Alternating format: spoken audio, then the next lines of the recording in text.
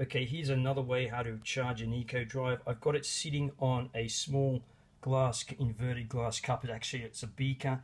We've got a fan blowing this little fan. It's solar powered, so when the sun is out, obviously that's when you're worried. This is full sun coming in through a, a window directly coming in here now. It's at a high angle. Uh, yeah, and so let's have a look what's underneath of here. So there you go. The fan is blowing on some microfiber cloth, so it can't possibly scratch the back of the watch. Underneath the foam resting on there is a small reservoir filled with some water. And let's just have a look at this. We'll take the watch off of there. There's the watch like that. So it's sitting on there. And the back of the watch here is, is, is just cool to touch. It is not hot whatsoever. It's been sitting in the sun there for quite some time. Let me put this back down. Right, there we go. Uh, all back together again. Uh, the, yeah, the back of the watch is quite cool.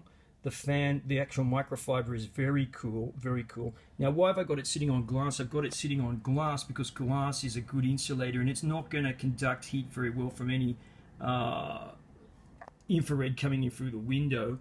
Uh, yeah, now the same operation works outside the window, but I put it outside the window. You've got to tether the watch so it doesn't get blown off in the wind or anything like that. But this way, I can charge the watch in absolutely full sun with impunity without any fear of this thing overheating. All right, just another hack. I've done it before in many, many different um, configurations. This is just another one there for charging an Eco Drive in full sun with impunity without any chance of overheating it. Okay, just for the heck of it, I reversed the fan. So before we were sucking air back across uh, to interact with the um, microfiber, now we're blowing air, ambient air, which is quite warm. It's about, uh, it's actually very warm here. It's 29 degrees the ambient uh, room temperature.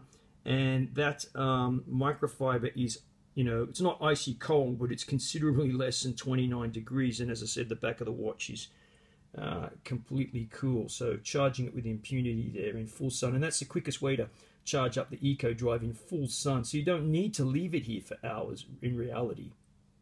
All right, Bush Camping Tools here. Thanks for watching.